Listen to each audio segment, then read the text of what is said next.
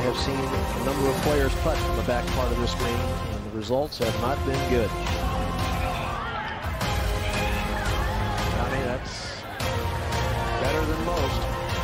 How about him? That is better than most. Better than most! You can hit that putt 50 times.